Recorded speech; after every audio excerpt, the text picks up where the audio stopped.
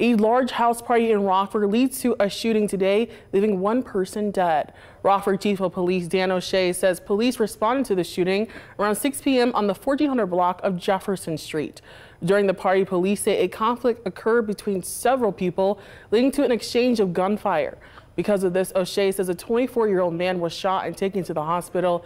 He was later pronounced dead. Police say another person was taken to the hospital with non-life-threatening injuries.